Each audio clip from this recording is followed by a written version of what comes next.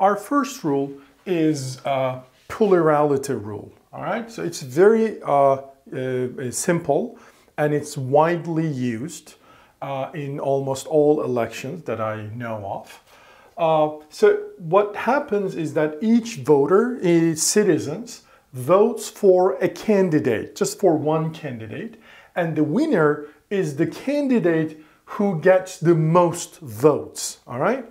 Uh, even though the, uh, the, the candidate doesn't get the majority, it doesn't matter. Whoever gets the most votes basically is the winning candidate in the plurality rule. All right. So I have two examples. Both in both examples, I have four alternatives or candidates A, B, C, D.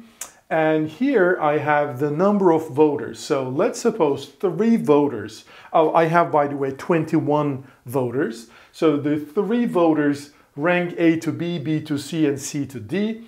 And five candidates rank A to C, C to B, and B to D. And then seven candidates rank this way, six candidates rank this way. All right. In another example, in the second example, the eight candidate, I'm sorry, not candidates, eight voters rank the candidates this way. Another eight voters rank the candidates that way. And then the remaining five voters rank the candidates this way. Well, once again, don't forget, we assume that these rankings are either common knowledge or the voters truthfully reveal their rankings this way. All right, so there's no strategic interaction here, meaning we ignore the strategic interaction. We assume that everybody truthfully reveal their preferences over the candidate in this way, all right, in these two different examples, because the rule, the plurality rule, is going to give us a different outcome in each different you know, example, obviously.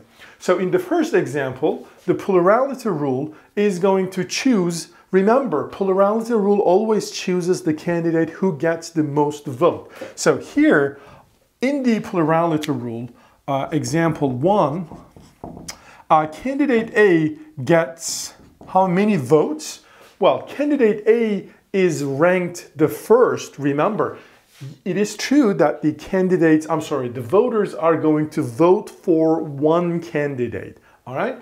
But the thing is, here in our setup, we don't ask the voters to vote for a candidate. We ask the uh, voters to reveal their entire preferences over alternatives, over the candidates, and then we tell in behalf of them, well, three voters actually rank A as their top choice, and so they would vote for candidate A. All right? Well, again, don't forget, you will say, oh, hey, hey, I mean, maybe, uh, you know, some of those voters are going to vote strategically and then vote for B, maybe. Again, we ignore the strategic part of the voting. Okay? I will talk about it towards the end of this chapter. So, uh, A therefore gets 3 plus 5, 8 votes. Well, what about B? B gets uh, only 7 votes because only 7 people rank this candidate as their top choice. And so they would vote for B if they truly honest to this ranking and then they if they vote not strategically they should have been voting for candidate B, right? And so B gets seven votes then. Well, what about C? Well, C gets uh, six votes, and then D gets zero votes.